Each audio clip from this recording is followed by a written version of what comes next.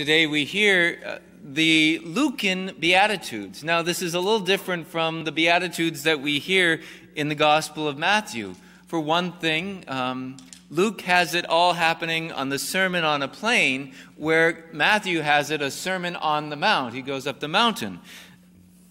Some people have tried to say, well, you know, from one perspective it's a plain, but from another perspective it's at the top of a mountain, so it all makes sense. But you know, Jesus was preaching for three years going around. There's no reason to think that this all had to be one sermon. He could have been developing it over the time and different people at different times.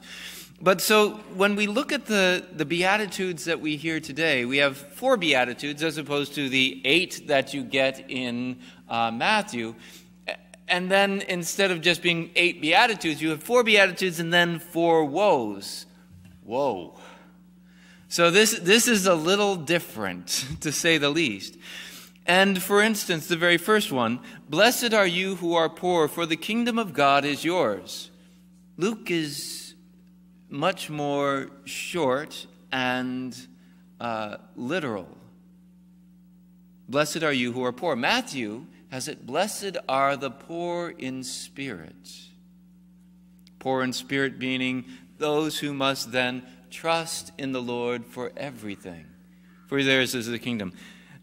Blessed are you who are now hungry, versus blessed are you who hunger and thirst for holiness, for righteousness.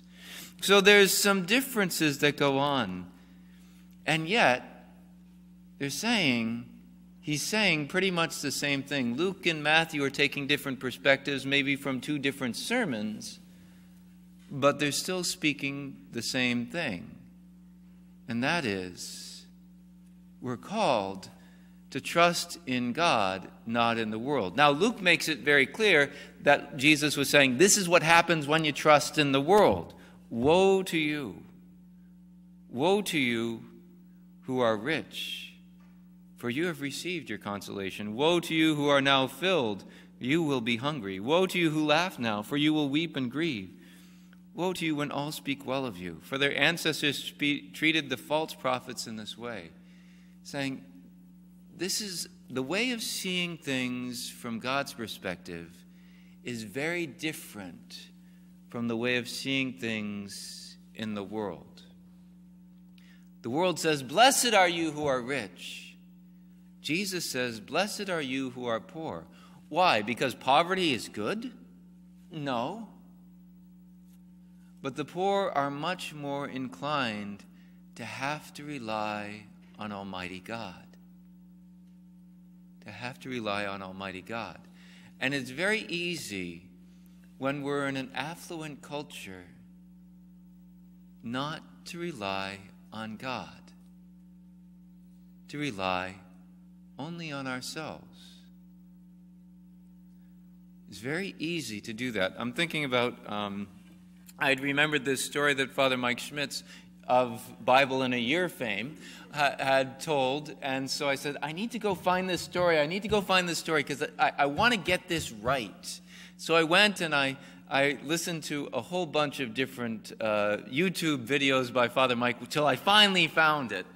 And um, this is the story. He was talking about this man from China um, and I forget exactly what district he was in, but of course, China is a very, in, in its communist nature, is a very anti Christian, anti God uh, society. And so this man, uh, as a Catholic, often would have clandestine masses in his house.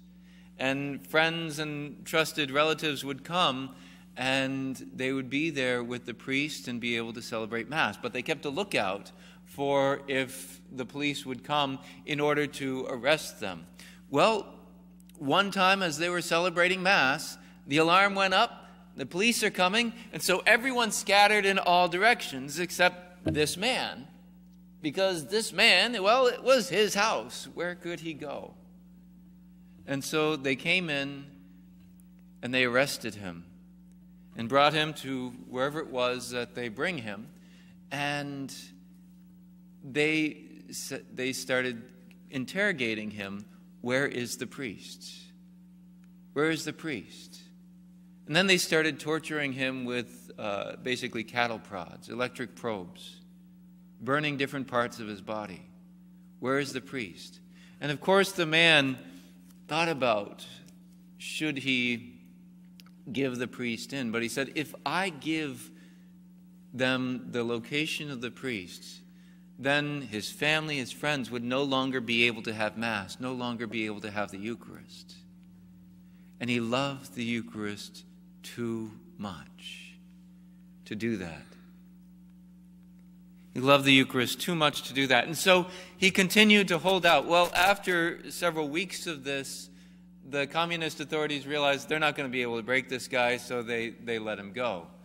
Well, shortly thereafter, uh, as soon as he could, he found his way over to the United States, and he was rejoicing so much. He rejoiced so much that he could go to Mass, and it wasn't illegal that he could go to Mass openly. He went to weekend Mass, he went to daily Mass, and he rejoiced so much. But then he found out one of the other blessings of the United States, and that is if you work hard, you can make more money. And so he wanted to be able to give more money to his family. And so he worked harder in order so that he could give that money to his family. And so he started missing daily Mass because he wanted to make sure he had this money to give to his family. And then over time, he started missing weekend Masses. Then he was only going on Christmas and Easter. And Father Mike tells this. He says, When I heard this story, he said he didn't even get to Mass that Easter. What the tortures of the communist regime could not torture out of him, could not beat out of him, our affluent culture took away from him without even trying his love for the Eucharist. Blessed are you who are poor, because you have to trust in God for the next day. Woe to you who are rich. Not that, again, there's anything wrong with wealth or money or anything like that. But if that becomes our focus, that can easily rise up instead of our God being our focus, our God being the one in whom we trust. We're in a battle, right? We're in a battle for our souls, a spiritual battle. And if we don't realize that we're at war, guess what? We're losing we need to recognize that we are at a in a battle, a spiritual battle for our souls, in order for us to say, okay, I'm going to put this part of me, which is good, down so that I can have something even better. Something even better. You, some of you I noticed were looking at some of these things that are in the pews uh, at the ends of the pews, and I'll talk more about them at the end of Mass. But uh, it's an opportunity for us as we're moving closer to Lent. Oh no, Lent's coming. Ah!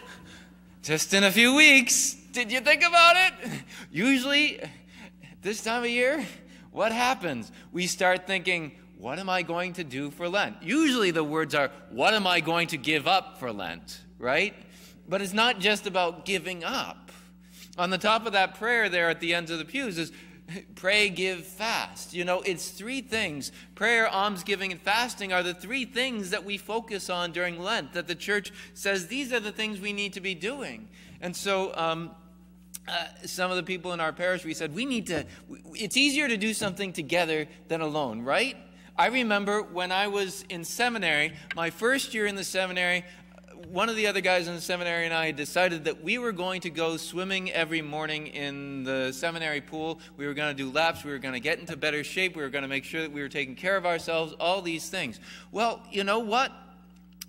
Uh, there were days that I didn't want to get out of bed. I'm sure that's a surprise to anyone.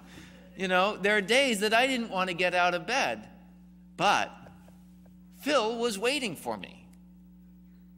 And I always thought it was not a good thing to be swimming alone because, you know, you hit your head, you drown, you know, something like that. It's not, not a good thing. So I said, Phil is waiting for me.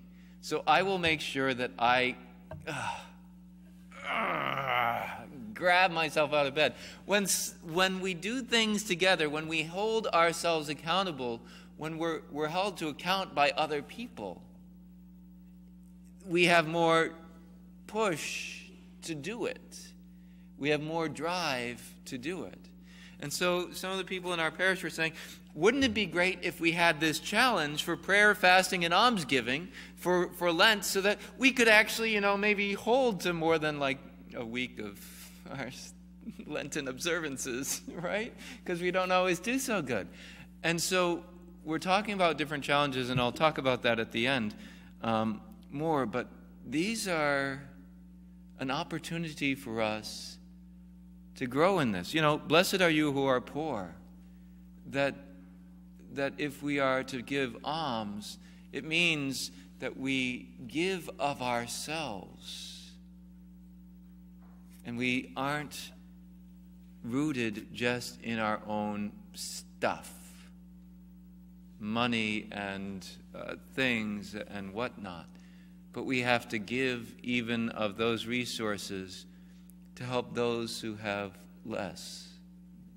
I think about Cardinal George. I've shared this before, but Cardinal George, God rest his soul, in a gathering of donors at the seminary, said to them, The poor need you to pull them out of poverty, and you need the poor to keep you out of hell.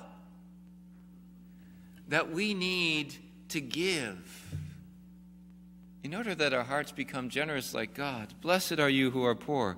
Woe to you who are rich, that we need to be not clinging, not attached to our money, to our stuff. Blessed are you who are now hungry, for you, you will be satisfied. Woe to you who are filled now, for you will be hungry. Bishop Sheen put it this way The way of the world is first the feasts, and then the headache. Uh, but the way of the Christian is first the fast and then the feast. First Good Friday and then Easter Sunday.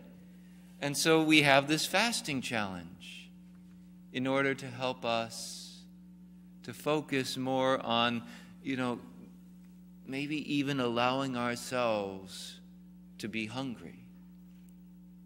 Blessed are you who are now hungry, for you will be satisfied. And then prayer roots ourselves not in our own time, not in our own understanding of ourselves or the understanding of the world, but in God. And so when people hate us and ex- exclude us and insult us on account of the Son of Man, because we say, well, you know what? This time of prayer, this time with God, this time at Mass is more important than what other people think of me. Just some things to think about, and we'll give you an opportunity if you'd like to sign up for the challenge, you you can do that. But to start thinking, how can I break my mind free from the thinking of the world so that I can think from God's perspective. Blessed are the poor. Blessed are they who are hungry. Blessed are they when they insult you and persecute you and utter every kind of evil against you, falsely because of me. May we allow God to form our hearts, our minds, our very beings, and be transformed closer into the heart of Christ.